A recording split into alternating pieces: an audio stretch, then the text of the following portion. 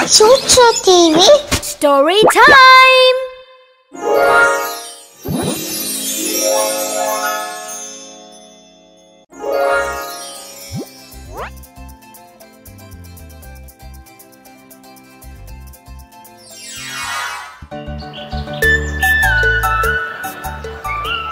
Deep in the jungle, there lived a flock of birds.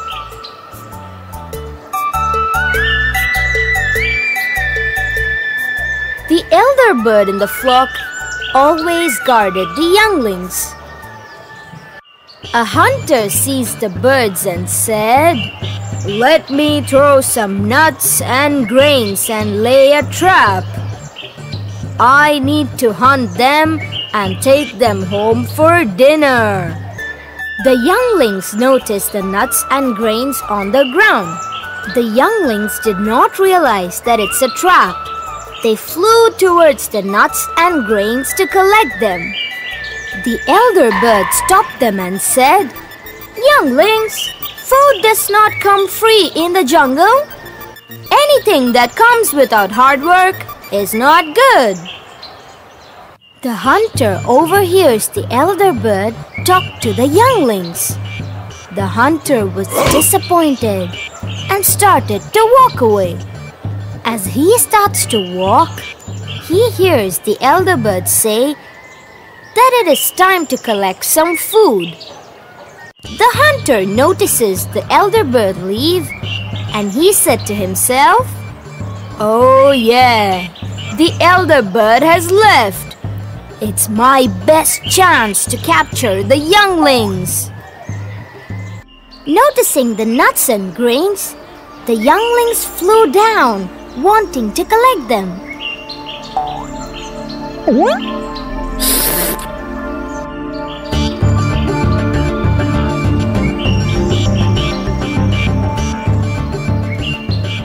They got trapped while collecting the nuts and grains. Oh no! We got trapped! The hunter, with a sheepish grin and scary laugh, said, Ha ha ha ha ha! I got you all! Be ready to get into the bird cage! The younglings got so scared.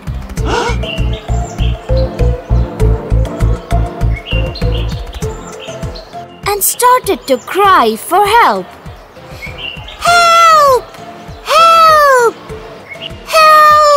The elder bird, returning from the hunt, heard their cry.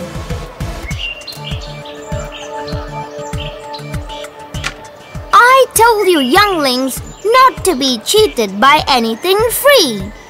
Look what has happened now. The elder bird notices a youngling try to break free from the net. Heed to me, younglings. Look at how these ants work together to carry the big chunk of food.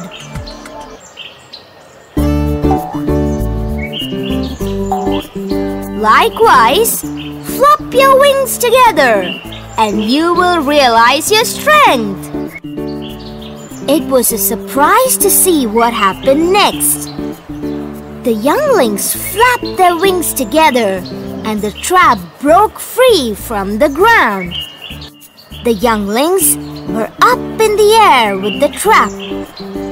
The hunter came running just to see the younglings fly away and said, Oh well, I failed to capture them. The hunter was so disappointed that he threw the cage and went away. The little younglings broke free from the trap and went back to their nest. They remembered the lesson learned and lived happily ever after.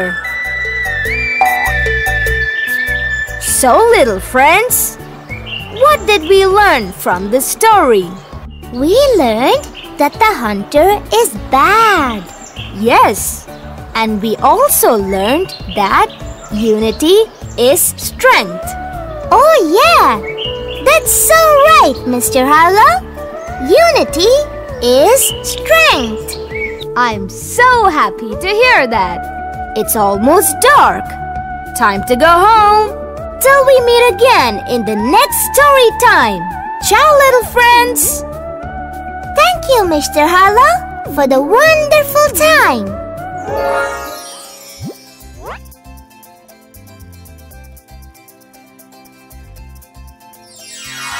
Joey! Joey! There you are!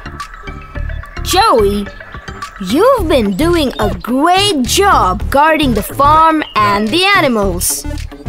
I have a reward for you for all your hard work. Here, let me reward you with this nice big bone. Joey was so happy and showed his happiness to his master by wagging his tail.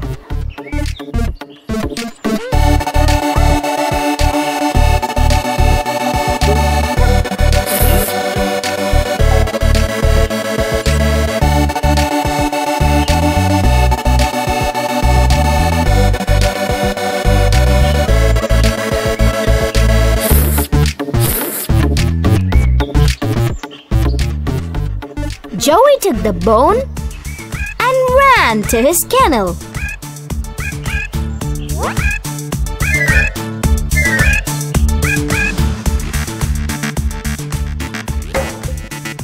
He was so happy that he was gifted with a bone for his hard work.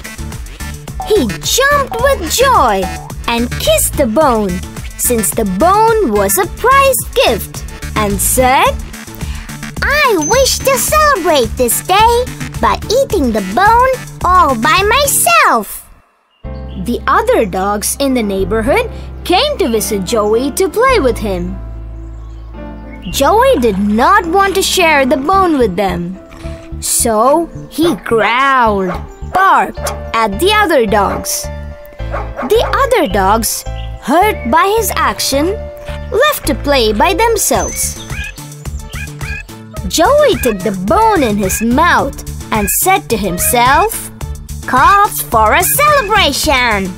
Let me take the bone to the park and eat it all by myself. With the bone in his mouth, he started walking towards the park, pretending not to see the other dogs. The other dogs, hurt by Joey's action, sat there all sad. While crossing the bridge, he saw his own reflection in the water through the gap in the bridge. I told the neighborhood dogs not to follow me, and yet they follow me, trying to grab my bone. Let me growl, snarl, and bark at them. The bone he was carrying in his mouth fell into the stream. Boo-hoo-hoo! I feel sad that I lost the bone. Feeling sad losing the bone, he sat by the side of the stream. The neighborhood dogs were starting to feast on the food they had fetched. They saw Joey sitting all sad by the stream. Hey, Joey, why are you sitting here all sad? Joey narrates what had happened. They asked Joey not to feel sad and shared their food with him. Joey recollected his misdeed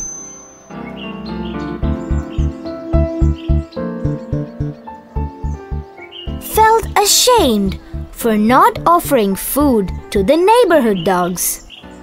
In the meanwhile, a man was sitting by the stream and catching fish with his fishing rod. He threw the hook inside, which caught the bone that Joey had dropped. Upon realizing that it was not a fish, the man threw the bone the bone landed by Joey's feet.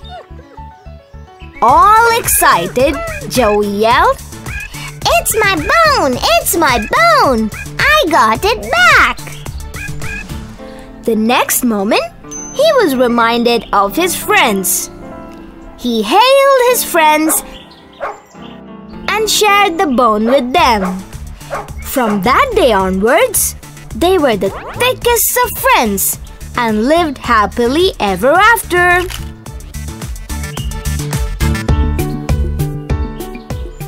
Little friends, I feel so happy sharing this story with you all. Such a lovely story, Mr. Harlow. We learned that you should share with and care for everyone. Sharing is caring. I'm so happy to hear that. It's almost dark. Time to go home. Till we meet again in the next story time. Ciao, little friends.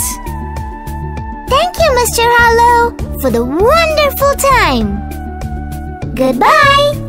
And be back soon, Mr. Harlow.